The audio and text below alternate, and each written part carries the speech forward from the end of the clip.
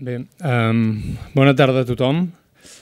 Iniciem una nova edició dels debats d'educació, de, la primera del 2010. Um, repetirem una vegada més per als no habituals, tot i que cada vegada de fet els habituals són més, uh, que Debats d'Educació és una iniciativa de la Fundació Jaume Bofill i dels Estudis de Psicologia i Ciències de l'Educació de la Universitat Oberta de Catalunya, una iniciativa que ja vam iniciar l'any 2003 i que en aquest moment es troba, de fet, ja en la setena edició. Abans de res, voldria agrair novament al MACBA la possibilitat que ens dona de portar a terme aquest debat en aquest eh, magnífic eh, espai i eh, recordar doncs, això que l'objectiu de debats d'educació és promoure aquest fòrum de discussió i de sensibilització entorn de temes d'actualitat i de fons que, a què ha de donar resposta necessàriament al nostre sistema educatiu. Per aquest propòsit, eh, aquest curs ja hem comptat amb les eh, intervencions dels professors eh, Vincent Duprier i, i, darrer, i la darrera de Mats Ekholm. Eh, les seves ponències entorn de la segregació escolar i de l'autonomia dels centres les podreu trobar, com sempre, recollides en aquesta web que, que veieu a la pantalla, la web dels debats d'educació. I eh, bé, eh, avui mantenint aquest l'objectiu dels debats i per ajudar-nos a reflexionar sobre la situació actual del nostre sistema educatiu i concretament per desenvolupar eh, la idea del declivi de la institució escolar, tenim el privilegi de poder comptar amb la presència del professor François eh, Divet, que eh, l'Anna Jolong, responsable de l'àrea d'educació de la Fundació Jaume Bofill, eh, us presentarà ara amb més deteniment. Hola, bona tarda. Uh, bé, com deia en Josep Maria Mominó, és un privilegi tenir avui entre nosaltres el professor François Dubé i per mi personalment doncs, el poder fer aquesta presentació. En François Dubé és director de l'Escola dels Estudis Socials a París i professor a la Universitat de Bordeus II. La seva obra és molt extensa i és difícil fer-ne una tria. És eh, sociòleg en sociologia de l'educació, especialment, ha esdevingut un referent en molts dels debats eh, que traspassen les fronteres de, de França. Recordareu alguns eh, una de les publicacions del que va ser una obra eh, significativa, La Galère, eh, Jean Salsurvi, La Galère, joves que sobreviuen o que es troben en situació de, de gran dificultat, on va explorar la marginació juvenil i es va anticipar amb la seva detecció i les seves hipòtesis el que ha estat i el que hem vist després de les revoltes en les banlieues franceses. Després eh, de la Galère, François Dubé no ha deixat d'interrogar-se, d'aprofundir, d'analitzar i de treballar sobre la qüestió escolar. I en altres llibres a destacar el 1991 Le Lycéen, que és una incursió en els instituts eh, francesos, o també amb la seva sociologia de treball de camp i de terreny, entrevista al professorat, entrevista a la gent que treballa en l'entorn escolar, entrevista als propis joves. També tenim una obra traduïda eh, gràcies a l'editorial Gedissa, l'Escola de les Oportunidades, que probablement doncs, és el que la majoria eh, coneixeu hem, hem, hem llegit, no? perquè ha tingut un, un fort ressò en el món de, de l'educació també aquí. També hi ha més tard Fe de Col, Fets d'Escola, el 2008, i François Dubé no només eh, s'interessa eh, a la qüestió escolar, és un sociòleg eh, que ha treballat temes molt diversos i també d'alguna manera tot el que és la, la societat moderna, la, la modernitat en el nostre món d'avui.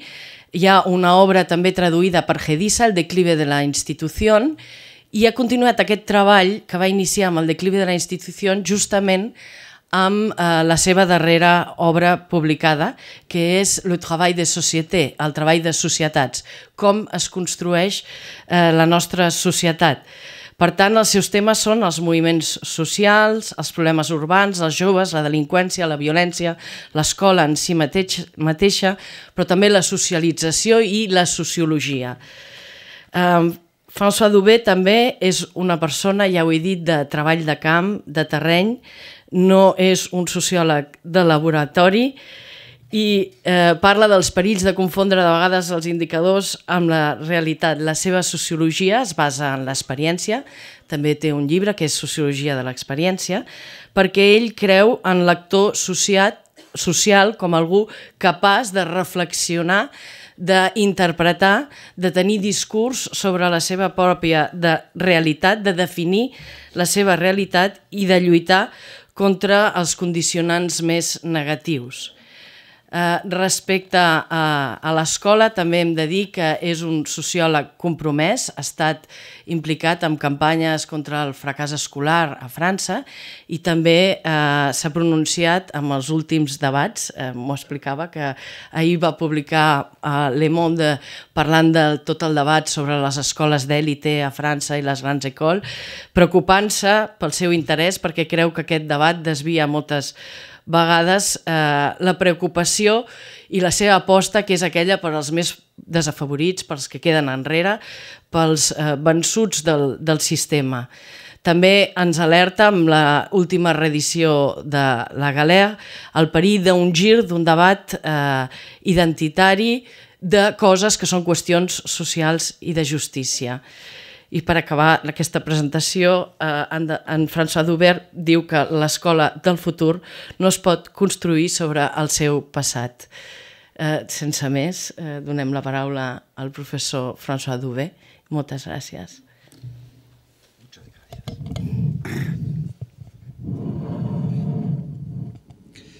Bien, merci. Bé, moltes gràcies. Gràcies d'haver-me convidat. Jo parlaré francès. Tothom té a l'abast els aparells de traducció N'hi ha que tenen el cervell directament equipat i altres que necessitem un aparell per sentir la traducció. Bé, jo desenvoluparé una tesi eh, que sembla molt paradoxal, que és la tesi del declivi de l'institució i sobretot la tesi del declivi de l'institució escolar, perquè es tracta d'una tesi paradoxal simplement perquè probablement mai a la història de la humanitat tantes persones han anat a l'escola, tantes persones han estat molt sovint a l'escola, tantes persones han treballat a l'escola i potser mai tampoc tantes persones, tants individus veuen la seva vida social determinada per la vida escolar. Per tant, sembla a priori absurd parlar del declivi de l'institució escolar, ja que al fons l'escola n'estem una mica cansats, és a dir, un mestre és una persona que ha entrat a l'escola als 3 anys i que mai ha sortit de l'escola. Per tant, si ho veiem així, podem dir que hi ha hagut massa escola i simplement els meus pares podien entrar a la vida sense molts diplomes escolars i avui en dia ningú més pot entrar a la vida sense qualificacions escolars. Insisteixo, des d'un punt de vista històric o des d'un punt de vista de pressupostos públics, de despesa pública, estem al cim de la potència de l'escola a les societats. D'una certa manera, parlaré de l'institució escolar d'una manera molt precisa. Parlaré d'aquesta institució com d'una manera de socialitzar els alumnes. Donaré a la paraula institució un sentit molt precís, un tipus ideal, una estructura ideal és a dir, anomeno institució un programa simbòlic, una gramàtica de l'acció molt particular que anomeno institució i que, evidentment, estigueu tranquils, definiré. D'una altra manera, perquè si no la meva idea seria molt absurda de dir que hi ha un declivi de l'organització escolar. Jo crec que aquesta organització és extremadament potent. Jo anomenaré institució una forma d'educació, una forma de l'educació que he utilitzat a la majoria dels casos a través d'unes feines del Durkheim sobre la història de l'escola a França, Durkheim mereix tot el meu respecte perquè ell i jo hem sigut professors a Bordeaux i això ha creat uns lligams entre nosaltres. Només tenim això en comú. Durkheim, quan treballava sobre el tema de l'escola, vaig tenir dues experiències. En primer lloc, la lectura de Durkheim, que m'ha convençut que no entenia el funcionament de l'escola francesa si no entenia el fet que es tracta del producte de l'Església. Això sembla molt eh, senzill, però el cor del sistema escolar és un sistema de creences de tipus religiós. I tornaré a aquest tema. La meva segona experiència que fa que jo he desenvolupat aquesta tesis de l'institució és que un moment de la meva vida, això fa aproximadament 12 anys, he estat encarregat per un ministre de l'Educació d'esquerres de reformar una part del sistema escolar, és a dir, l'escola mitjana, l'escola on els nens van quan tenen entre 12 i 16 anys. He passat molt de temps parlant amb els sindicats de mestres. Jo creia que les meves converses amb els sindicats de mestres serien unes converses de mm, mercat, però no ha sigut el cas, només he tingut unes converses teològiques. I jo creia que tenia al davant uns sindicats i el que tenia al davant eren uns capellans, a unes persones que tenien uns raonaments simbòlics, molt pocs raonaments pràctics. I ara entendreu el que vull dir. I vaig pensar, aquesta història només prova que en els nostres serveis, els nostres serveis francesos, després parlaré d'altres sistemes, però a les nostres mentalitats franceses republicanes, en el fons hi ha tot un imaginari institucional i aquest món imaginari s'està confrontant a l'evolució real de l'escola que es viu com un declivi. 99% dels llibres que parlen de l'escola diuen que l'escola no funciona, que hi ha una crisi, que el nivell dels alumnes és lamentable, que el món se'n va. I per tant, m'he plantejat per quina raó passava això L'escola, que sembla tan potent, que en el fons és tan important, per què no aconseguim desfer-nos de la idea de que està agafada en un procés de declivi important. No sé quina és la situació a Espanya, però a França 95% de les persones diuen que la situació era millor abans. Un abans no sé com dir-ho, però un abans que era millor. Per tant, la situació és molt fràgil actualment. Parlaré dos minuts de l'Església. Què és l'Església per un sociòleg? L'Església per un sociòleg és una màquina que fabrica cristians. La meva definició no té res d'anticlerical. L'Església és una màquina que fabrica cristians i l'Església ha fabricat un programa, i utilitzo la paraula programa en el sentit d'ordenador, és a dir, una tècnica de fabricació dels cristians. que és extremadament elaborada, intel·ligent i forta i que podem definir de la manera següent. Suposa, en un primer moment, que definim uns principis sagrats incontestables. Per exemple, Déu ha creat el món, existeix el mal i el bé, el sagrat, el profà, és a dir, tota una sèrie de dogmes que no es poden negar, i permetiu-me que faci de sociòleg, són uns dogmes apartats del món, que estan en un món amunt del món. el que és eh, característic de la religió. I en segon lloc per transmetre aquest dogma contem amb uns professionals dient que tenen la vocació, és a dir, que tindran la capacitat d'encarnar aquest dogma. Per exemple, si sóc catòlic, considero que quan el capellà parla, no es tracta d'un individu que parla, però és quelcom que parla perquè Déu li diu el que ha de dir.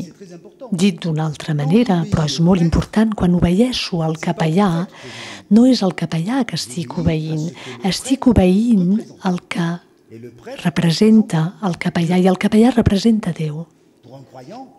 Per un creient és així. Això permet unes coses molt interessants. Puc pensar que l'individu del capellà és una persona relativament mediocre, però quan diu la seva missa ja no és mediocre perquè és l'encarnació de la paraula divina. Durant molt temps parlava un idioma que jo no entenia. Parlava llatí. En tercer lloc, el tercer moment d'aquesta construcció Suposo que aquesta tasca de socialització ha de desenvolupar-se, aquesta feina de socialització s'ha de desenvolupar al marge del món, com en un santuari, és a dir, en un indret protegit dels desordres i de les passions. Per què trobem que les esglésies tenen molt encant? Perquè són uns llocs on sabem que no entren els desordres del món i sobretot eh, per dir coses com el gènere, el sexe ni el diners. És a dir, estem a l'interior d'uns sanctuaris. El darrer element és que hi ha una concepció d'aquest tema molt particular pel que fa a aquest model, aquesta concepció de la persona del subjecte, el filòsof Blaise Pascal en dona. La millor definició és la idea que accedim a la fe, és a dir, que un esdevé cristià quan és sotmès a una disciplina universal. Pascal Pascal tenia una fórmula molt maca quan va decidir convertir-se al cristianisme i aquesta fórmula no és un xiste. Pascal deia heu de resar, heu de pregar i veureu que la fe vindrà a poc a poc. Si jo fos sociòleg, jo diria que és una mica la definició de la costum. És a dir, que em, em sotmeto a una disciplina i a poc a poc aquesta disciplina esdevé l'expressió de la meva personalitat. Bé, tenim doncs un sistema fixat per l'Església, uns dogmes, uns homes de fe, un santuari, unes disciplines i si em sotmeto a aquesta disciplina, em torno lliure de cara a aquest mecanisme. Evidentment, és l'Església que ha inventat l'escola, això no es pot negar, és evidentment l'Església la que ha inventat l'hospital, i si sou sociòlegs, trobeu que en el model de la relació mèdica, tal com s'ha definit per al Galto Xerzog, sociòleg americà, teniu exactament el mateix model és a dir, el malalt, el pacient que obeeix al metge que encarna la ciència i quan el malalt obeeix al metge té una possibilitat de curar-se. És un món màgic, però que funciona. El que caracteritza la història de la meva societat a darrere dels Pirineus és que França ha fet una cosa absolutament increïble. És a dir, que ha lluitat contra l'Església per lluitar un altre subjecte, el republicà, el ciutadà, l'home modern, l'home que creu a la raó, al progrés, a l'esperit crític, a la ciència, però que la tècnica de fabricació del ciutadà que ha estat utilitzada per l'escola republicana és exactament la tècnica de l'Església. És a dir, que hem utilitzat el programa institucional de l'Església i l'hem transferit a l'escola republicana per combatre l'Església. I per tant, Durkheim tenia una fórmula molt maca, deia el mestre d'escola i el capellà són tan sagrats els uns que els altres. Per tant, si vull descriure l'escola republicana, l'escola que tots els mestres de França tenen al cap com un com una estructura identitària nacional, no parlaré dels catalans, però com tots els occitans, per exemple, que pensen que hi havia Occitània Simon de Montfort, és a dir, una novel·la identitària. Esteu en un sistema que jo puc definir perfectament. L'escola s'apunta a una sèrie de principis i de valors dels quals podem dir que encara que siguem ateus són perfectament sagrats. És l'escola de la nació i la nació al final dels anys 1880 no era una cosa sobre la qual podíem discutir en un debat públic organitzat per un ministre d'extrema dretes. La nació és una convicció total. És l'escola de la raó, i sabeu que si Déu ha donat un tros petit d'ànima a tots els creients, al segle de les llums han donat una mica de raó a tots els sers humans. Descartes diu que la raó és la cosa que es comparteix millor en aquest món i és exactament el fet, exactament la idea que en el Nou Testament s'afirma i és una cosa molt admirable que tots els homes tenen una part divina és exactament aquest principi, és l'escola del progrés. És eh, una escola que ha de fer que aquest món sigui millor, que ha de fer que els homes siguin millors. I per tant, quan l'escola escriu llibertat, igualtat, fraternitat, progrés i tot el que voleu, està o té la idea que els principis que aplica són homogenis i s'enforteixen els uns i els altres.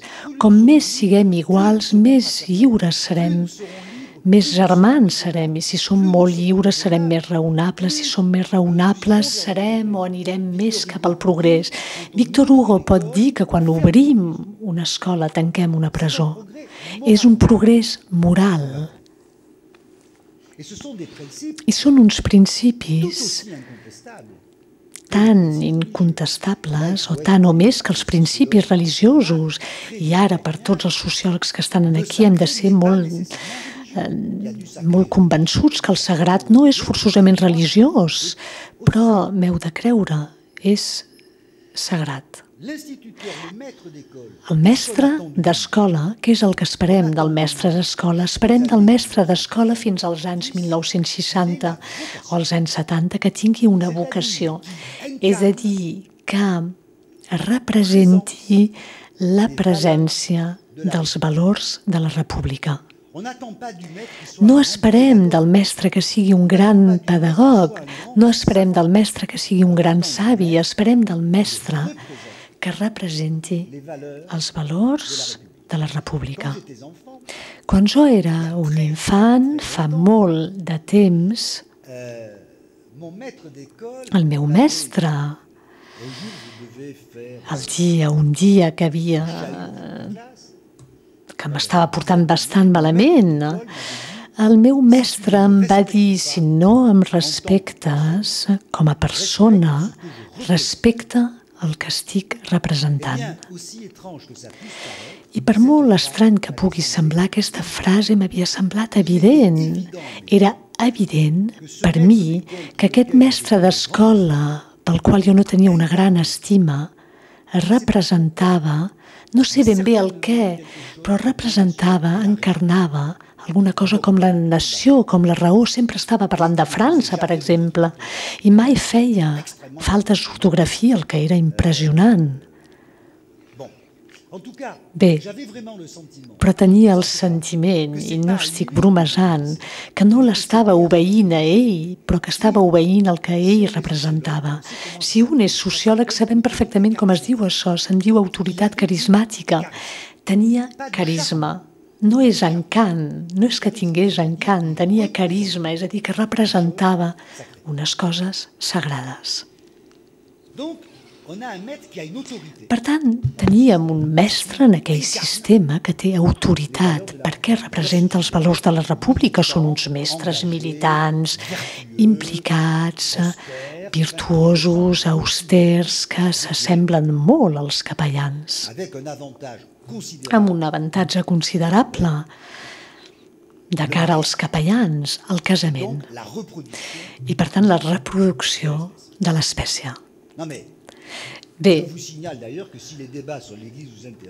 i els hi dic que si els debats sobre l'Església els interessen, els hi dic que això és exactament el problema que es planteja avui a través de la solteria dels capellans. El tercer element és que l'escola republicana de França és un sanctuari molt sòlid, tant o més que l'Església. Els pares no tenen pas el dret d'entrar-hi. Les empreses no tenen dret a entrar-hi. Els eh, llegits locals tampoc tenen dret a entrar-hi. I a França, quan tenim unes reformes que voldrien que els pares, que les empreses entrin a l'escola, hi ha un milió de persones que surten al carrer dient vendrem l'escola al capitalisme, sotmetrem l'escola als interessos privats, la desanctualitzarem. El sanctuari, en el cas francès, és molt pronunciat. Hem hagut d'esperar els anys 1970 per deixar de separar els gèneres. Aquesta escola del progrés eh, era una escola que separava els nens i les nenes. Jo mai he vist nenes a l'escola, fins a l'universitat. Hi havia un tipus de ficció, una ficció teològica, que havia estat formulada molt bé per un filòsof eh, important a la producció del model laic que es deia Alain. Alain havia dit en l'infant hi ha dues coses. Hi ha una cosa sagrada, l'alumne, el ser raonable, i també hi ha un ser profà, mitjanament convenient, que és l'infant, que és un ser apassionat, un ser de pulsions. L'escola només s'adreça a l'alumne. I trobem de manera estranya la diferència entre l'ànima i el cos. En el fons, el somni de l'escola és que només tingui alumnes i que els nens es quedin a fora de l'escola. El somni de l'Església és només tenir ànimes i que els cossos es quedin a fora. Tenim exactament aquesta mateixa dualitat i també tenim el darrer element, evidentment, el mateix principi de l'obediència lliberadora. Aquest principi ha estat molt ben descrit per Foucault, però jo no estic d'acord amb Foucault pel que fa a aquest tema, perquè Foucault anul·la el principi de la fe, de la creença. I funciona. Funciona, és a dir, que quan em sotmeto a la disciplina escolar, porto el meu esperit cap a la raó, cap a la ciència i cap a uns exercicis eh, o disciplines que fan que al final l'alumne podrà criticar el sistema escolar. Es tracta d'un ideal, l'ideal de totes les escoles i el creient de veritat pot criticar l'Església, però critica l'Església en el marc de l'Església. L'alumne de veritat critica l'escola en el marc de l'escola. Per tant, tenim un desplaçament important d'un model que en dic programa institucional, perquè podeu observar que hi ha uns pisos, uns esglaons que composen aquest sistema que és molt coherent i que ens torna a enviar cap a una concepció de la vida social que és una concepció de la vida social en termes d'integració. El gran problema és que les subjectivitats dels individus i el funcionament de la societat s'harmonitzen s'ha de fer que l'escola posi o tanqui les subjectivitats personals i el funcionament d'una societat moderna, democràtica, etc etc. I per tant tenim un sistema molt coherent i un sistema molt optimista i per tant, en aquí torno a citar Foucault, és a dir, que creiem en això i això ha funcionat. És a dir, hem de dir que no podem posar en dubte que aquest sistema ha fabricat un règim polític, que aquest sistema ha fabricat una nació que les persones no parlaven francès, que totes s'han posat a parlar francès, que aquest sistema ha fabricat una mica d'igualtat social, no molt, però una mica, que d'una certa manera es tracta d'un gran èxit i que sobretot hi ha hagut una armadura simbòlica molt important Ara plantejo l'hipòtesi que el que passa avui, probablement degut al fet que l'escola s'ha convertit en una màquina cada vegada més potent, cada vegada més hegemònica, cada vegada més present, aquest programa es desfà. Aquest programa no existeix només en el món imaginari aquest sistema no organitza la pràctica de l'escola. És a dir, que ja no funciona en el marc de l'escola. Un exemple molt senzill, si imagineu un alumne, no sé, aquí a Catalunya, o un alumne francès que sentiria un mestre que li diu si no m'obeeixes o si no em respectes, respecta almenys el que jo represento, jo crec que l'alumne cridaria un metge per dir que aquest professor està sentint unes veus. Bé, un indicador extremadament senzill. Per tant, això no funcionaria. I per què això ja no funciona? Moltes persones a França, i crec que tenim el mateix problema aquí a Espanya, les persones diuen que no funciona perquè les institucions ha sigut atacada per unes forces hostils que coneixeu el neoliberalisme, l'ultraliberalisme, el capitalisme, Europa, és a dir, en el fons, els mercats els que venen, els venedors han entrat en el temple. És una història que no és absurda, però és una història a la qual jo no crec. No crec en aquesta història, perquè crec que malauradament i per això vull assenyalar-lo ràpidament. és que avui una gran part d'esquerres és molt conservadora pel que fa a l'escola, perquè l'esquerra a França diu que defèn el temple contra les forces del, dels diners. Jo crec que aquest discurs és fals i això fa que això sigui molt impopular d'alguna manera. Perquè pel que fa als aspectes essencials, jo crec que el declivi d'aquest programa institucional s'explica per uns mecanismes interns. En primer lloc, i això no és un argument, ho sento molt, però és més aviat un tipus eh, de discurs eh, que tenim els sociòlegs. Jo crec que la modernitat és el desencantament del món el desencanteri. Cada vegada menys hi han legitimitats que s'inspiren de principis sagrats.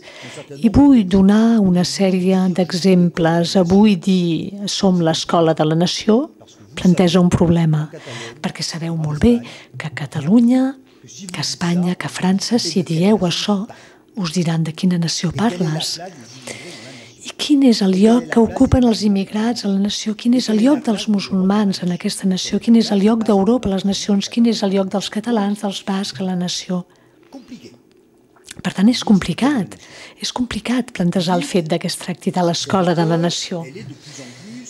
Podem dir que aquesta escola és l'escola cada vegada més del capital humà, és a dir, cada vegada més es desenvolupa un principi de legitimitat que és bastant estrany, que diu ja no és sagrat però és útil l'escola, evidentment. Hem d'anar a l'escola i si demaneu en els nens per què van a l'escola, no sé com funcionen aquí, però a França és molt senzill. Fins als 10 anys diuen està molt bé anar a l'escola perquè som més grans quan sabem llegir. És una resposta molt maca o perquè la meva mare vol que vagi a l'escola. Però després tots els alumnes pobres, rics, diuen vaig a l'escola perquè si no vaig a l'escola demà no treballaré. Ningú diu França, la nació, el progrés, la raó. Siguem seriosos.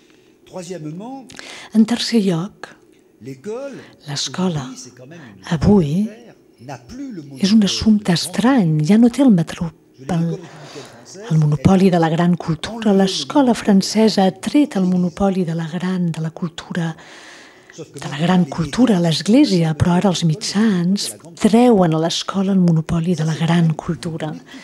I això és un tret sobre el qual hem de reflexionar. Avui en dia un alumne podem dir que està malament, que és escandalós, podem dir el que volem, però un alumne passa molt més temps davant de la televisió, davant de la seva pantalla d'ordenador, que a l'escola. I jo afegeixo que les enquestes demostren que un mestre passa molt més temps davant de la televisió que davant dels seus alumnes i per tant no cal que ens expliqueu coses que no són veritat.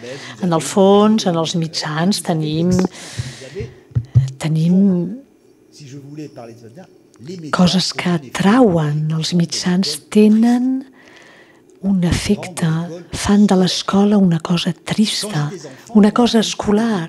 Jo quan era infant, una classe de geografia era quasi poètic. Quan jo volia saber una cosa sobre l'Himalaya, jo podia inspirar-me de l'escola, l'escola o l'escola.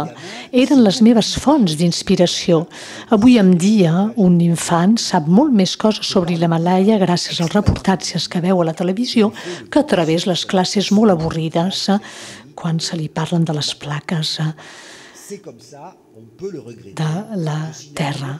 És a dir, podem lamentar aquesta situació, però l'escola, de cara a la cultura dels mitjans, té la mateixa reacció que l'Església al principi del segle XX contra la cultura de l'escola laica. És a dir, és vulgar, etc etc. El darrer punt, evidentment, és que l'escola està dominada per la cultura crítica que ha creat. Per exemple, avui ja no hi ha acords sobre el que és la gran cultura. Quan mirem els texts de França fins al 1950, que sigueu anarquistes, comunistes, gulistes, catòlics, republicans, francmaçons, tothom està d'acord sobre el fet que Molière, Victor Hugo, Racine, Jean-Jacques Rousseau representen la gran cultura de manera incontestable. Avui ens diran és cultura de classe. És cultura genre, és a dir, gènere, macho, machista. I en el fons, l'escola avui, quan mirem els debats, ja no creiem que farà que els homes siguin millors. L'utopia s'ha fragilitzat. Pensem que podem construir una escola millor, una societat millor, però que farem que els homes siguin millors. Això ja no ho he vist escrit enlloc. Al fons, l'imaginari sagrat per sobre de l'institució ja no s'aguanta i la conseqüència, evidentment, de tot això és que els mestres d'escola ja no es poden definir a través d'una vocació de tipus catòlica on el mestre sacrifica, es dona a la seva vocació, el mestre té una vocació una mica més trista, té una vocació protestant. És a dir, que pensa que seria convenient de créixer en el seu ofici. Avui no demanarem a un futur mestre si creu a la república, a la virtut, a la cultura. Se li dirà, ets capaç de suportar nens durant sis hores cada dia? És una pregunta excel·lent, però ja no és la mateixa pregunta. Evidentment, aquest ofici és cada vegada més professional, cada vegada més tècnica. La legitimitat del mestre ja no és una legitimitat sagrada i l'escola ha de fundar la seva legitimitat sobre uns principis molt més difícils de mostrar que és útil, demostrar que serveix d'alguna cosa. i quan esteu en el programa institucional, això és una evidència i en totes les enquestes internacionals que tenim sobre els mestres en països comparables de l'OCDE, tots els mestres diuen que estan cada vegada més menyspreats per la societat, el que no és cert, perquè quan fem unes enquestes sobre el prestigi dels mestres, es diu que aquesta professió és prestigiosa, però els mestres pateixen del fet que, que el seu prestigi ja no és un prestigi una mica sacralitzat. Simplement són unes persones que diuen que és un ofici difícil, interessant, honorable, qualificat, però ja no són, és a dir, són França, són la cultura, representen el país, però els èxits de l'educació escolar fan que els mestres ja no poden eh, fer valdre la seva singularitat personal. Hi ha moltes persones que tenen diplomes, tants diplomes com els mestres. Avui en dia el mestre de barri no és un savi en un món d'ignorants, però durant molt de temps era un savi en un món d'ignorants. Per tant, hi ha un sentiment de caiguda, però el gran canvi és el canvi de la massificació escolar. La massificació escolar fa que l'escola, que corresponia a un ordre regular, un convent que només s'ocupava dels creients, i les parets del convent amb la massificació s'han trencat. És a dir, que no hi ha més un sanctuari escolar. En primer lloc, amb la massificació, els problemes socials han entrat a l'escola. I m'agradaria molt eh, explicar-vos això. Problemes socials sempre hi han hagut. De vegades inclús pitjors que avui, de vegades menys pitjors. Però l'escola a França i a Espanya fins als anys 60 pot desfer-se dels problemes socials.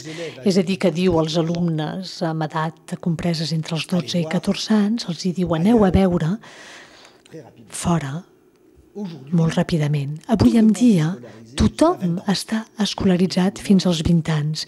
Dic tothom, a França 80% dels alumnes es queden a l'escola fins als 20 anys. En aquí tenim l'arribada dels problemes socials, de l'immigració, dels pobres, dels que no són intel·ligents, de totes aquestes persones que no ens estimem o que no volem a l'escola. També és l'arribada, i perdoneu-me de ser una mica vulgar, és l'arribada de l'adolescència.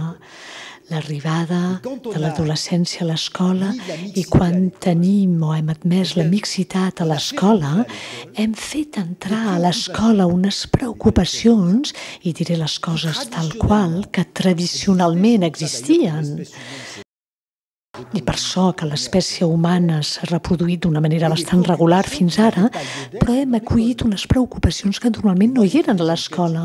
Jo he fet unes, unes enquestes amb els escolars entre 12 i 16 anys, els hi encanta anar a l'institut. La única cosa que els molesta són les classes. I que siguin bons o no. Els hi encanten els amics, les noies, els amors, les amistats, les baralles, les passions, les històries. I els seus nens, quan surten de l'escola, que és el que fan? Telefonen als amics, a les amigues, per continuar durant tres anys la conversa que han continuat o que han començat al matí. Per tant, a l'escola hi ha una vida juvenil, no sabem què fer de tota aquesta vida. Què és el que ha invadit l'escola? Euh, el que ha invadit l'escola fonamentalment és una lògica utilitarista. Si tothom va a l'escola, vol dir que únicament l'escola està habilitada a donar qualificacions que permetran a les persones trobar una posició a la societat. I per tant, Alhora que una escola tancada podia viure amb l'il·lusió d'una certa inutilitat dels sabers escolars, estem dominats per l'utilitat dels sabers, dels coneixements escolars. Els alumnes treballen en les matèries rendibles. Els pares trien els sectors que són rentables, els dels establiments que siguin més rentables i com tots els pares estan en, es fan la competència que siguin privades o públiques, les escoles funcionen com un mercat. És a dir, que ja no correspon al model del mercat que ha invadit l'escola. És més aviat que, com tothom s'està fent la competència, l'escola funciona sobre un sistema de mercat públic privat, és a dir, jo vaig a buscar les utilitats màximes a l'escola. I és normal, no entenc que s'acusin els pares de ser consumidors escolars, perquè no veig com un bon pare, uns bons pares poden ser d'una altra manera que un consumidor amb la preocupació de donar als seus nens la formació que els permetrà tenir el dia de demà la millor professió possible. No entenc com podem culpabilitzar els pares, no veig com això podria ser d'una altra manera. Evidentment, això té uns inconvenients molt seriosos. Sobretot és que el món escolar és un món que oposa els que guanyen als febles. És una competició esportiva i els que perden en general es tornen o violents o ja no volen anar a l'escola.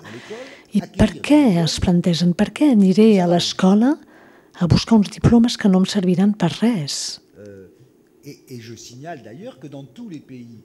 Insisteixo que en tots els països comparables la tassa d'absentisme escolar demostra metòdicament, perdó, puja de manera flagrant perquè les persones ja no obtenen utilitat a l'escola. Per tant, estem en un sistema que fa que d'alguna manera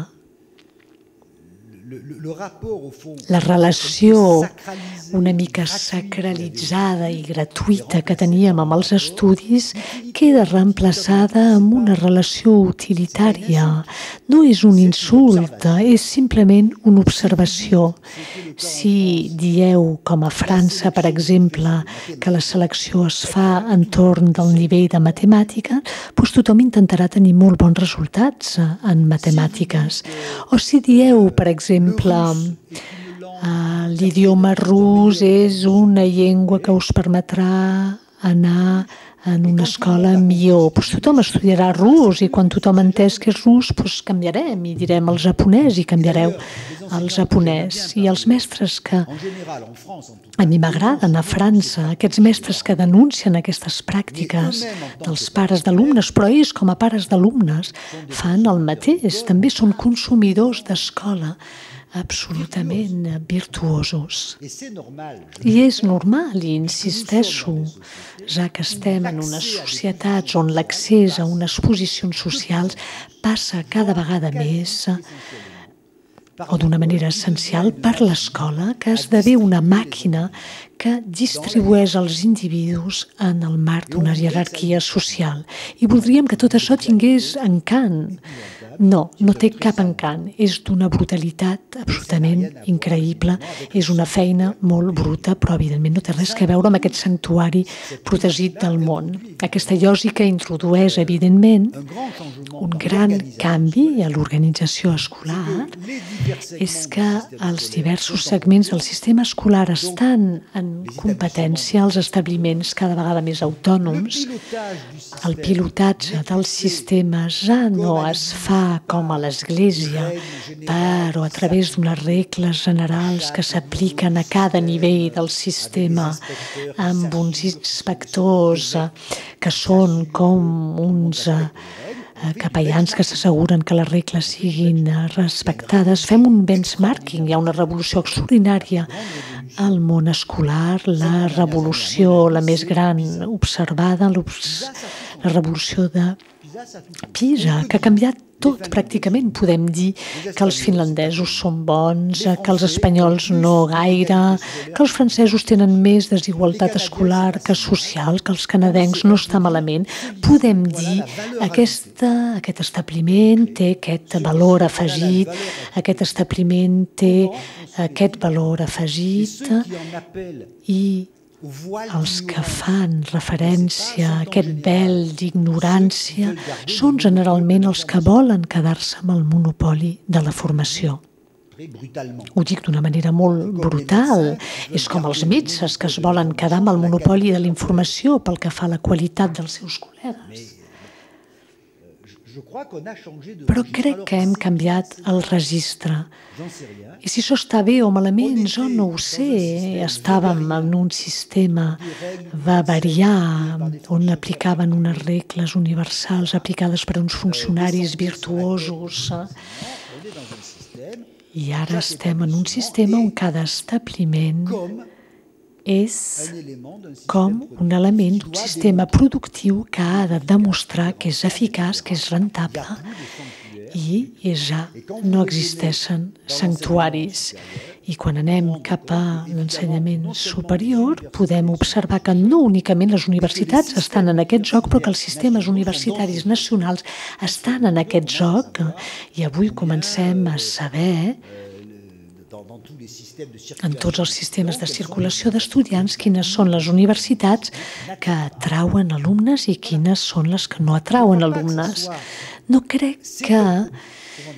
O com explicar-vos això correctament? Es tracta d'un funcionament liberal, però no crec que té que veure amb un projecte liberal. Crec que és el resultat mecànic d'una massificació. que ha fet explotar les parets d'un santuari. Evidentment, per als mestres, això canvia. Això canvia tot.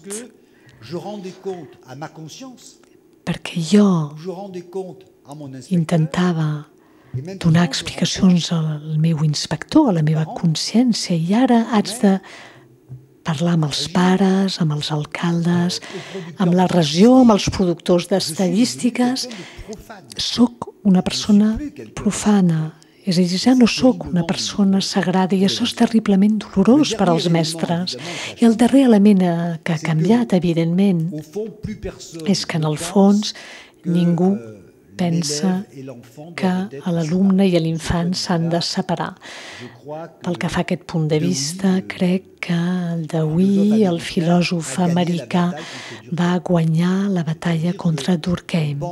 És a dir, que pensem cada vegada més que l'infant ha d'estar en activitat, en l'adquisició dels coneixements i que no és un creient sotmès esperant que se l'alliberi.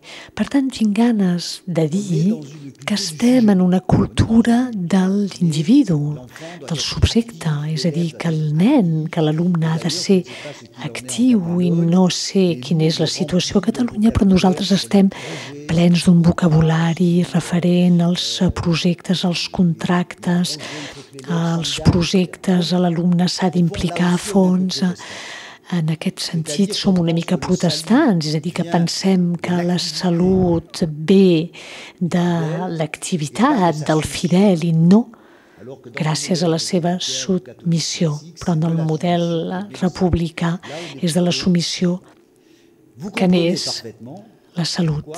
Enteneu perfectament per què tot això es viu com una crisi considerable i perquè els hi deia abans que quan parlava amb els mestres tenia la sensació de fer teologia, perquè tothom us planteja, però no, no m'enteneu, jo abans com a mestre tenia autoritat i ara ja no tinc autoritat, la meva autoritat és un problema.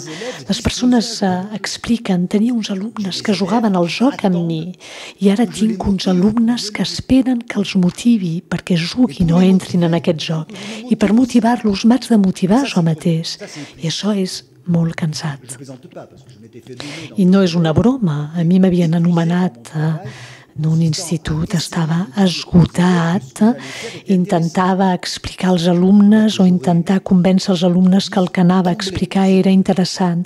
I a mi m'hagués agradat que els alumnes pensin de seguida que el que anava a dir era interessant.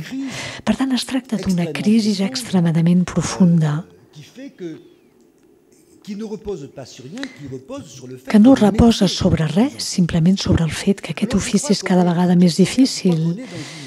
Crec que estem en una situació on, en el fons, la meva hipòtesi és que tenim realment o hem passat realment d'un model a un altre i que en el cas de França tenim moltes dificultats per desfer-nos de l'imaginari, de l'antic model, però la realitat, el que anomenem la crisi de l'escola, no és pas la crisi de l'escola, és simplement que l'escola s'ha convertit en una altra cosa. De la mateixa manera que no podem dir que la gran indústria és la crisi de l'artisanat, dels artesans, és una altra cosa. I per tant suposa una tasca política de veritat que permeti reestructurar una institució però que no pot ser el programa institucional, això és una posició integrista, d'alguna manera, però ha de ser una institució que ha de ser una institució democràtica modesta, una institució que s'assemblaria més a una comunitat democràtica i política que a una església, que seria equivalent al model precedent. Evidentment, un dels problemes és que una o les finalitats de l'escola són a la vegada heterogènies i antagòniques. Sabem que esperem de l'escola, perdó, coses contradictòries, Volem tots que l'escola dongui a tots els infants del país una cultura comuna, tots desitgem això, però també volem que l'escola seleccioni els millors, perquè és bo per l'economia i perquè és just. Just de reconèixer el mèrit. Volem que tots els alumnes tinguin un lloc, però també volem que tots aquests alumnes siguin autònoms. I quan discutiu o parleu de l'escola, observeu que volem tot i el seu contrari. I tenim raó. Tenim raó de voler tot i tot el contrari. Ens hem convertit una mica en nitseans. És a dir, que sabem perfectament que desitgem coses incompatibles. Weber parlava de la guerra dels déus. Vull igualtat, però també vull mèrit. Vull que la cultura sigui gratuïta, però que els alumnes tinguin feina quan surtin. Bé, jo com a universitari vull que els meus alumnes s'apassionin per l'obra de Max Weber, però al final que tinguin tots una feina. Però sé que molt pocs d'entre ells tindran una feina que consisteixi en comentar l'obra de Max Weber. I com ho faig, doncs? Bé, estem tots en aquestes situacions. Jo crec que la bona escola seria, pel que fa a aquest punt de vista, una escola que combini, que equilibri i no una església que només tingui una vocació de reunificar el món i els principis. Evidentment, això planteja una sèrie de preguntes. Una pregunta política essencial. No sé com es pot plantejar aquesta pregunta aquí, a Catalunya, però és una pregunta que ja no ens fèiem, és a dir, a qui pertany l'escola? Si plantegem aquesta pregunta a França, els mestres, la majoria d'entre ells pensen que l'escola és seva.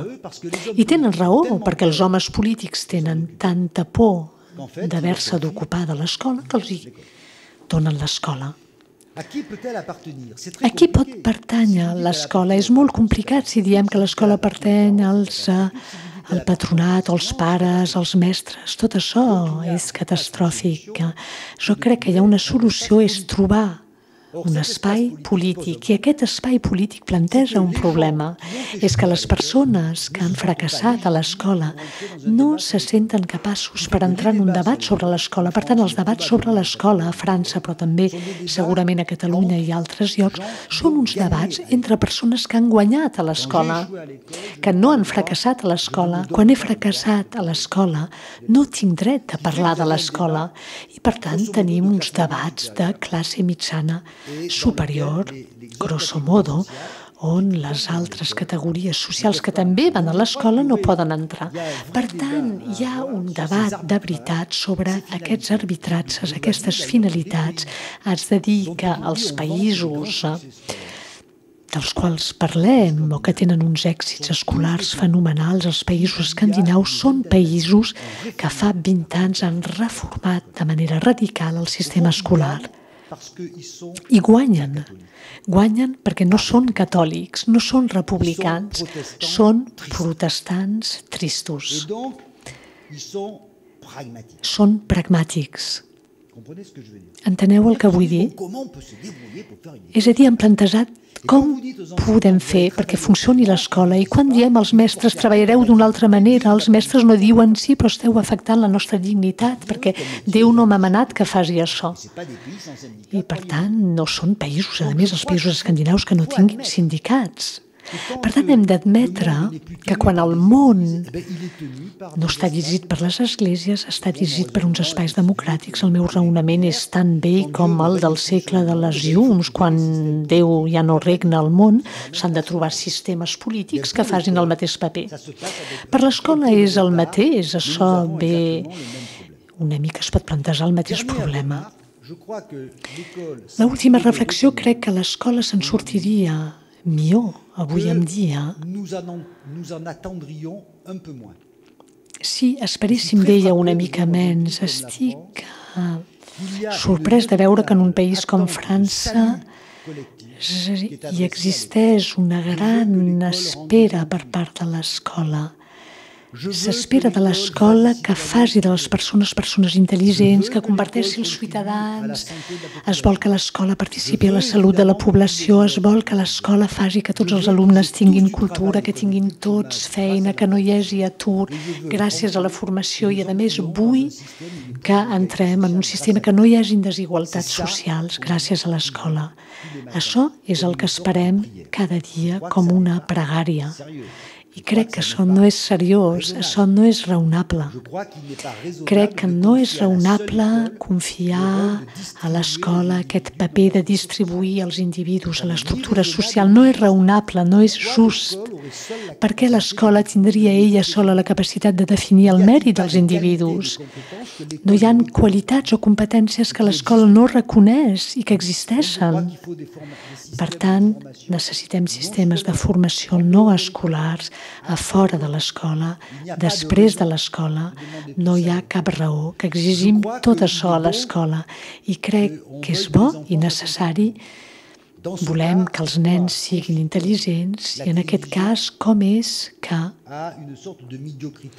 posem la televisió en un marc de mediocritat humiliant en una societat democràtica hauríem de tenir dret de dir que els nens poden mirar programes intel·ligents. Per què no? Hi hem renunciat. És a dir, que estem renunciant a la reducció de les desigualtats socials. Estem dient sí a la gent pobra, a la gent rica, això no és el nostre problema, és l'economia. I Pensem que això seria acceptable el dia que les persones o que els nens pobles, pobres vagin a l'escola per ser rics. L'escola permetrà un dia a tots els nens eh, desfavorits de tenir les mateixes oportunitats que els altres. No s'ha de ser un gran sociòleg per saber que tot això és un xiste, perquè els seus infants són privilegiats i segur que cap de nosaltres diem als nostres nens, ara que has tingut una mica d'èxit, deixaràs una mica de lloc als demés. Silenci o no heu entès el que jo he plantejat o simplement he creat una mica de malestar. És a dir, que estem explicant com unes bromes que no tenen res a veure amb la realitat. Després d'un segle d'expansió escolar hem de reformatejar una escola que sigui una mica més modesta, que sigui de millor qualitat i no hem de continuar perdent la capacitat d'implicar-nos en l'economia, de fer com si únicament l'escola podia tenir aquesta capacitat. Jo entenc que els mestres que se senten absolutament ofegats per les demandes i les esperes de la societat, jo crec que aquest model de l'institució ha desaparegut i crec que hem de tenir la capacitat de podem tenir una nostàlgia d'aquest model antic. Eh? La nostàlgia és un sentiment fantàstic, a mi m'encanta el Schubert, tothom li agrada els Beatles, és un acte nostàlgic, però no fem acció política a partir de la nostàlgia. I per tant hem, veritablement, hem d'admetre que hem canviat el sistema i que no hi ha res pitjor que canviar el sistema tot i renunciant al fet de veure'l perquè estem sotmesos a un imaginari molt important d'una escola que ja no existeix a la realitat. Per tant, per mi això planteja un repte, un repte molt important. I si m'ho permeteu, la capacitat de reformar els nostres sistemes escolars no té res que veure amb les lleis de la globalització i de la mundialització. Que no hi ha una llei mundial que demana que l'escola sigui d'una manera o d'una altra i que estic molt sorprès de veure que d'alguna d'alguna manera, quan tenim unes palanques d'acció, no les aprofitem i preferim explicar unes històries eh, que ens consolen. Els hi dono les gràcies, perdoneu d'haver sigut tan franc i tan francès, però si l'Itàlia és el món del papa, França és el món de l'escola republicana. Gràcies.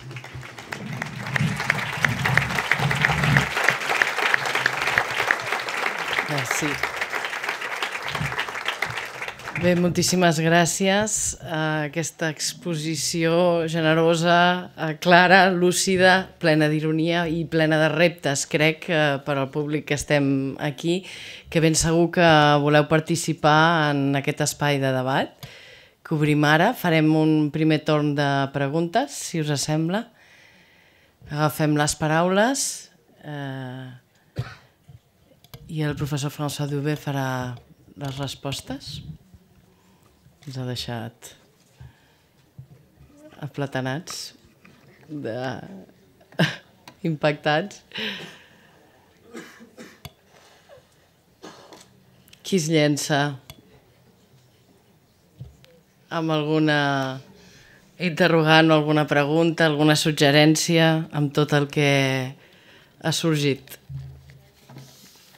Sempre tenim moltes paraules, eh? Això en debats... Eh... Hi ha una per aquí. A veure, aixequeu el braç, si no, no us veig. Aquí.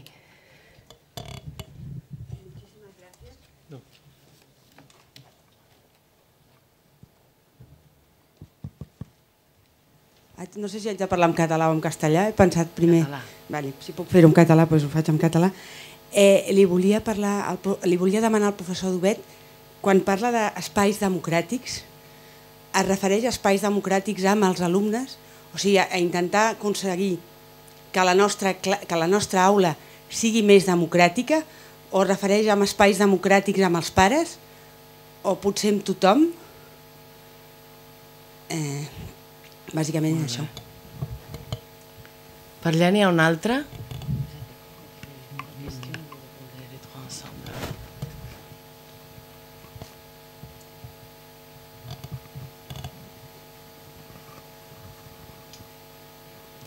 Hola, mm, només si, si bé agrair la, la conferència que realment ha estat molt interessant. Només si, si ens pogués fer dos aclariments o dos preguntes que em sorgeixen.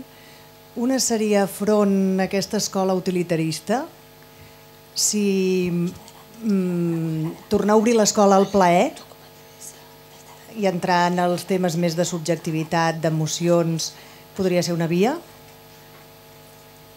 I l'altra pregunta és, um, quan heu dit que la massificació és el que ha fet esclatar aquest sistema antic, massificació entesa com tots els alumnes entren a l'escola, universalització de l'escola, quan totes les classes socials, tota l'adolescència, perquè a vegades aquesta massificació l'hem llegida com a oportunitat, igualtat d'oportunitats, i en el seu discurs ha sigut com, com la palanca que, que llença l'antiga institució pels aires. No? I, bueno, a mi m'ha ressonat l'antic debat eh, més l'OCSE, no? de quan els nens de 14 a 16 de la IFP van entrar als instituts també van saltar moltes palanques pels aires. No sé si, si volia dir això.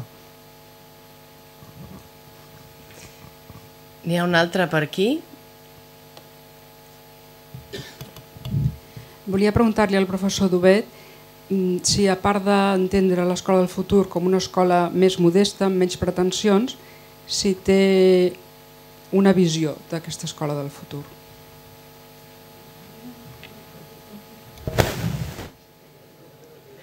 No sé si serà fàcil respondre. De fet, són tres persones, quatre preguntes. Bon, si, euh, d'abord, je, je répondrai à votre question, mais j'ai... En primer lloc contestaré a la seva pregunta, però jo no tinc una mentalitat molt utòpica.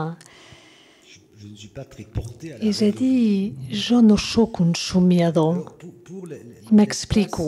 Pel que fa a la democràcia, l'espai democràtic, s'ha d'entendre que això és extremadament complicat. És a dir, que podem fer un raonament pel que fa al sistema. Jo crec que el sistema... Euh,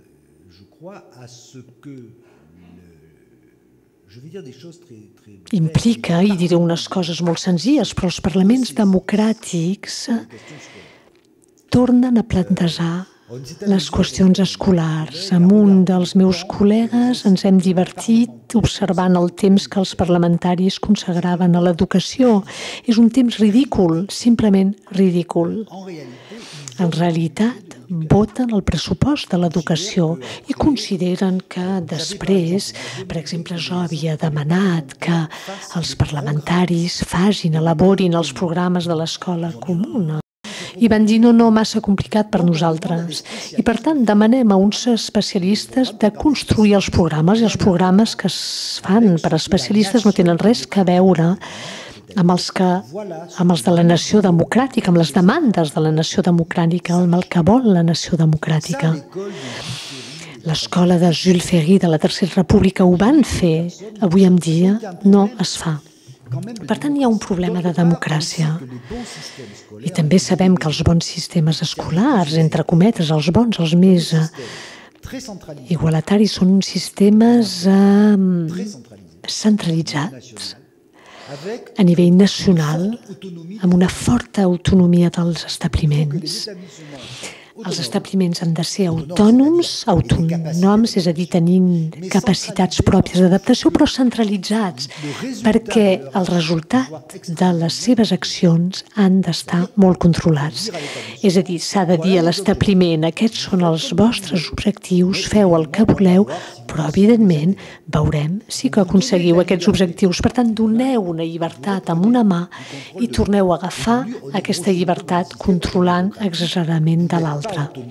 Per tant, no sou autònoms, però feu el que voleu. És una mica aquest, el sistema. Pel que fa a l'establiment, jo crec que hi ha unes coses que es poden negociar. Negociar entre els pares, els alumnes, els mestres, tenint en compte que cap d'aquests actors està en un pla d'igualtat. Un exemple molt senzill, per exemple, quan donem drets als malalts en els hospitals, avui ho fem, no vol dir que els malalts i que els metges siguin iguals. Com a malalt no vull ser igual que el metge, però vull que el metge tingui cura d'unes coses. Per exemple, l'organització dels programes, dels organigrames, L'organització no de la tècnica d'aprenentatge, però l'organització de la vida escolar es pot definir en un espai democràtic amb uns delegats de pares d'alumnes, etc etc. Crec que és necessari per una raó molt senzilla. I quan reflexioneu, no hi ha altres legitimitats a l'autoritat que no sigui aquesta. L'argument el més fort que podeu donar a un alumne perquè obeeixi és dir-li escolta'm, tu has de respectar la llei que hem votat tots conjuntament. I al fons, dir-li això no està malament en una societat democràtica, però evidentment no estic a favor del lexisme pedagògic, és a dir, els alumnes tenen uns drets, però els drets dels alumnes. No tenen el dret de dir-me el que les matemàtiques són, no tenen el dret de dir el que és la sociologia. Jo és el que sé d'això. Tenen dret a dir-me que els tracto malament, que sóc injust, tenen el dret de dir-me que els hi demano uns deures i que després no els corregeixo, tenen el dret de dir que mm, tenen el dret de dir-me que no tinc dret a insultar-los. Tenen uns drets, evidentment, no són uns drets iguals, però en molts uh, sectors tenim uns espais de negociació que no estableixen uns iguals quan discutim de l'implantació d'una central nuclear. Entre els habitants i els enginyers de les centrals nuclears pot haver-hi una discussió, una conversa democràtica, però no hi ha una equivalència d'informació sobre el tema nuclear. I no em sorprèn. El que vull dir és que tot això ens porta cap a una sèrie de nivells. i em sembla que hem d'arribar a crear unes comunitats escolars, etc. I pel que fa a la segona pregunta sobre si s'ha d'oposar l'emoció, la subjectivitat, a l'utilitarisme, aquest no és el meu raonament. Crec que, però crec, i a més és molt personal, jo crec que anem a l'escola per aprendre coses i per ser intel·ligents. I a més, quan faig preguntes als alumnes, mai m'han demanat el dret d'expressar-se. Sempre diuen vull ser més intel·ligent i diuen el que pensen sobre el que aprenen. Per tant, l'escola ha de ser l'escola. En aquest sentit, jo sóc molt categòric. Quan l'escola intenta incorporar elements de la cultura juvenil perquè siguin la base d'un altre tipus de formació, jo crec que és complicat tinc el record d'un professor d'anglès que deia que els alumnes eren nuls en anglès, però que estaven apassionats de música anglesa. A aquest professor li encantava la música popular anglesa i, i va pensar, els hi donaré text de rock i aprendran l'anglès amb això i els alumnes li van dir a nosaltres ens agrada el rock perquè no està a l'escola. Si vostè porta el rock a l'escola, doncs serà un rock escolar i no volem d'aquest rock and roll. Per tant, hem d'anar molta cura amb tot això. Els nens tenen la seva vida i volen la seva vida. Pel que fa al tema de la massificació, jo estic a favor de la massificació escolar. Trobo que està molt bé que tothom tingui el dret d'anar a l'escola durant molt temps. I siguem clars, estic a favor de la massificació escolar, crec que és molt millor que 80% de les persones vagin a l'escola fins als 18 anys, que quan jo hi anava a l'escola hi havia 12% dels infants que continuaven l'escola fins als 18 anys. Crec que és molt millor la situació d'ara, és molt millor penso que és molt millor que 80 persones tinguin cotxes, molt millor això que 10% de les persones tinguin cotxes. Tenim tots drets a tenir cotxes. Això ha posat al nivell de les persones, això no ha reduït les desigualtats. Si voleu, tenim una igualtat col·lectiva en la qual les desigualtats són extremadament fortes i per tant s'ha de dir la massificació ha creat una igualtat absoluta però no ha limitat les desigualtats relatives el que planteja un problema molt gran a l'escola del qual podríem parlar plantejant com podríem limitar les desigualtats. Això seria un primer raonament. El segon raonament consisteix en dir el que mai hem imaginat és que quan massifiquem el sistema escolar canviem la naturalesa d'aquest sistema. Això mai ho hem imaginat. A França el que ens hem plantejat és que l'escola era una cosa bona. I com hi ha moltes persones que no hi van molt de temps, farem que es quedin. I com l'escola és una cosa que està bé, serà interessant que aquestes persones es quedin a l'escola. I el problema és que això ha canviat completament la naturalesa de l'escola. I us donaré un exemple molt senzill. Quan vaig passar la selectivitat, el baccalaureat, érem 12% dels uh, alumnes uh, d'una classe que passàvem al baccalaureat. Hi havia tres o quatre tipus de baccalaureat. Això no tenia cap mena d'importància perquè com érem tan pocs en passar la prova del baccalaureat, aquest baccalaureat tenia valor perquè eren molt poc nombrosos i, per tant, encara que hi hagués algú de lletres, de ciències, això no canviava res, el valor de la selectivitat del BAC, del baccalaureat. Quan teniu 80% de joves que passen al baccalaureat, les petites diferències entre els tipus de baccalaureat, els tipus, esdevenen diferències fonamentals i crucials quan tenim 10% de les persones que tenen un cotxe, la gran diferència està entre els que tenen cotxe i els que no tenen cotxe, però quan 100% de les persones tenen un cotxe, la gran diferència és la, els que tenen uns cotxes molt macos, uns cotxes grans, o els que tenen cotxes petits, i un es podria morir per tenir la marca GTI inscrit al cotxe, perquè això és el que permet lligar més fàcilment les noies i això, evidentment, interessa molt les persones, més del que imagineu.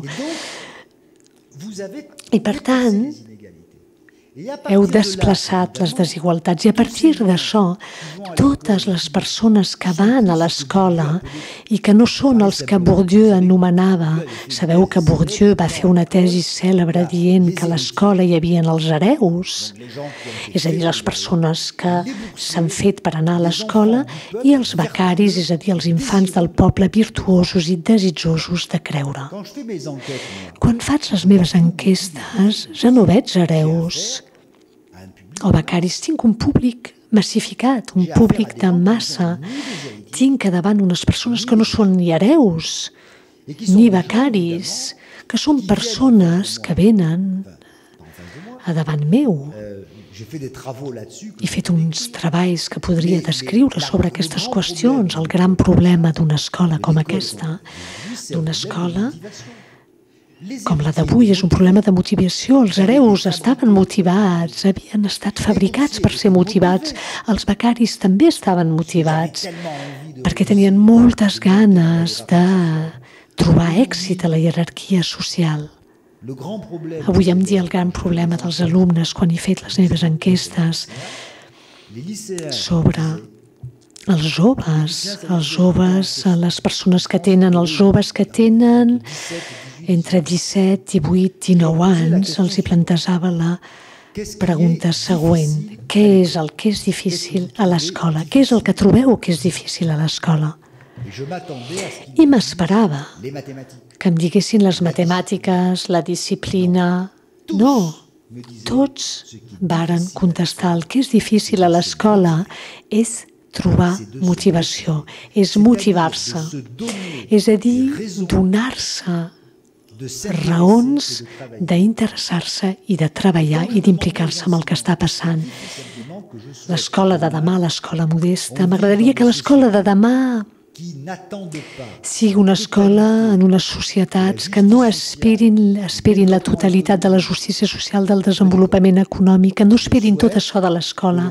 Desitjo que es dongui a l'escola el lloc o un lloc important però d'aquí uns mesos publicaré un llibre publicat amb la senyora Marie Dury on demostrem que si les persones creuen que l'escola és capaç de definir les competències dels individus, les desigualtats socials seran cada vegada més importants, contràriament al que imaginem.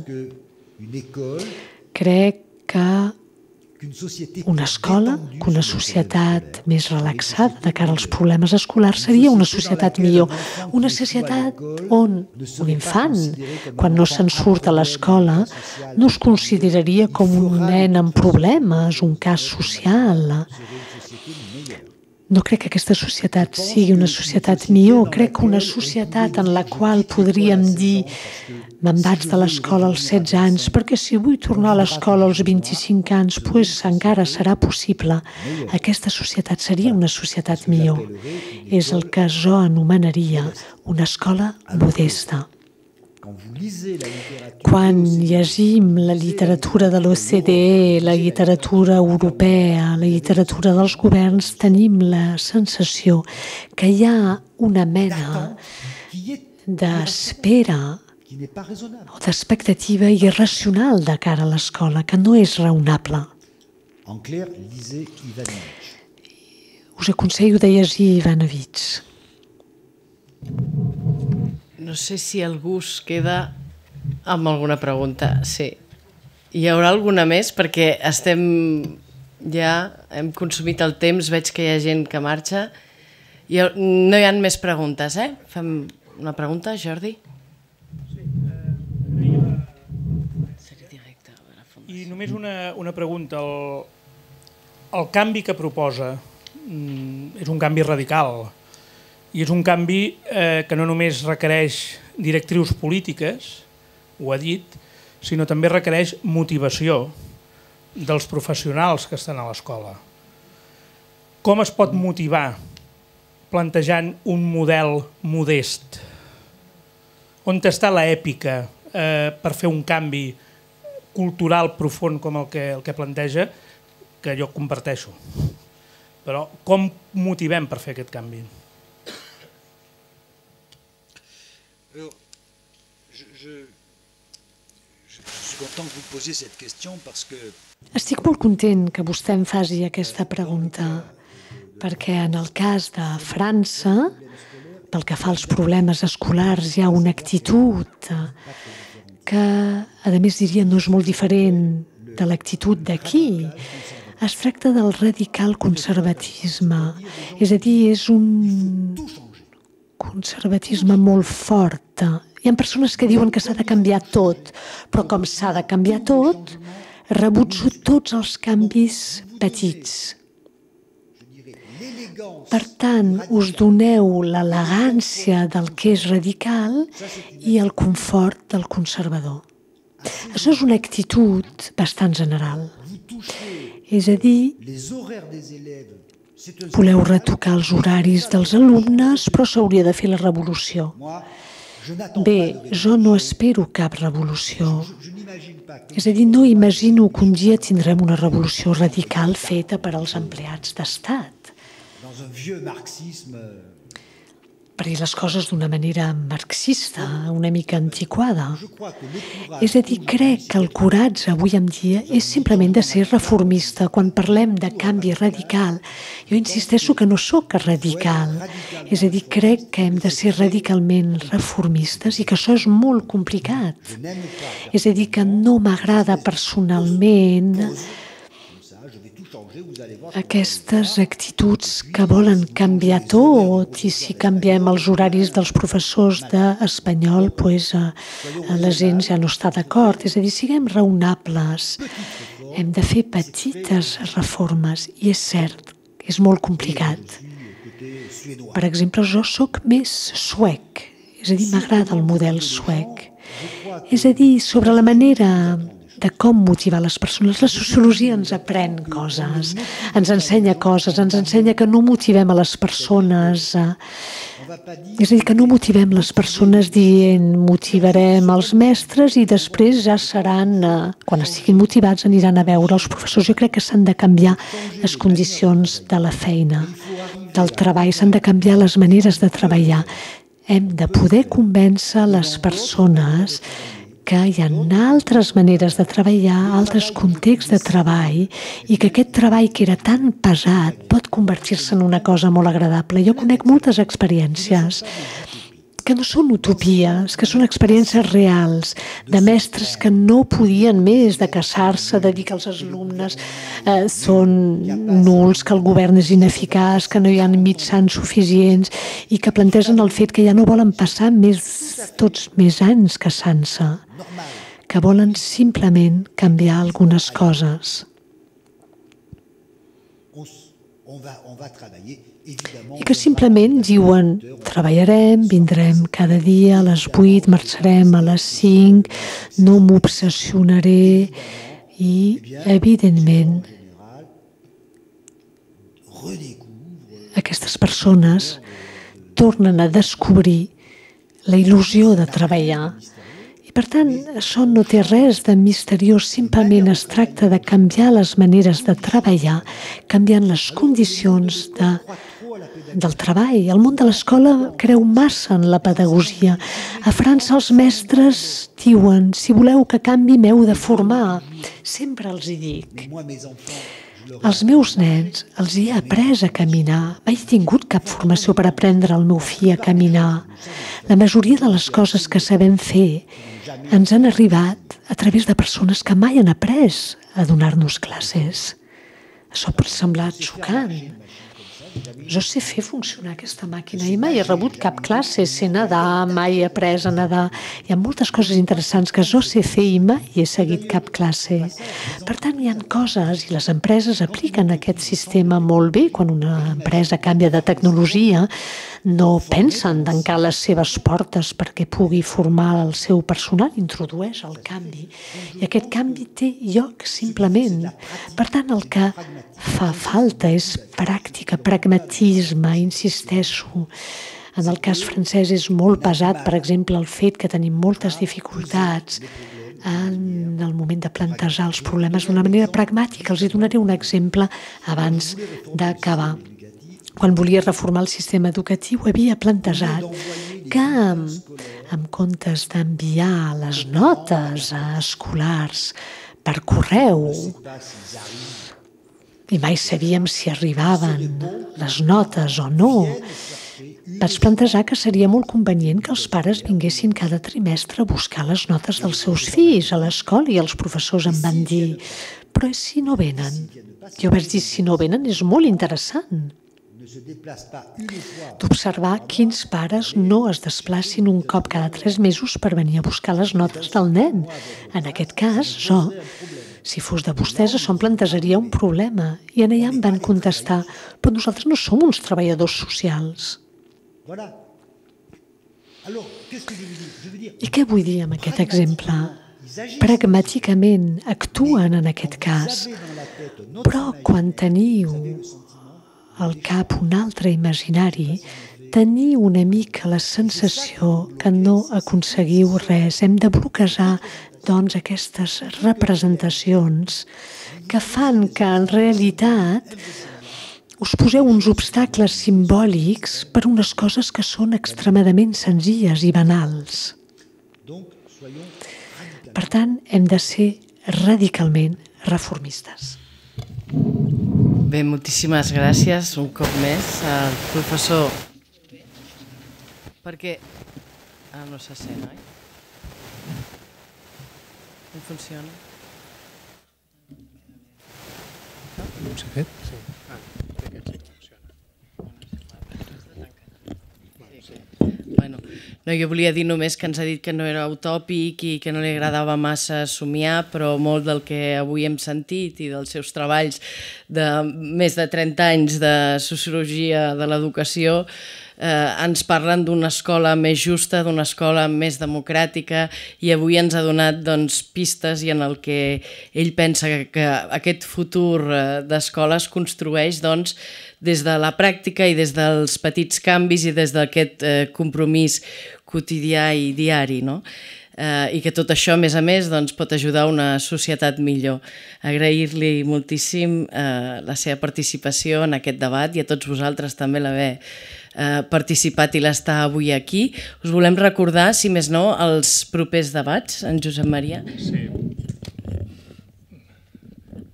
Bé, només eh, recordar que la ponència del, del professor Dubet estarà a la vostra disposició, com totes les altres, eh, en, en breus dies en la web d'aquests de, de, debats, eh, que els que hi esteu subscrit ja sabeu que la pròpia web ja us dona aquesta informació en el moment que la informació és disponible, i recordar-vos, doncs, com us deia l'Anna ara, eh, que tenim la propera edició d'aquests debats el, el dia 9 de febrer amb la ponència d'en Jab eh, Dronkers.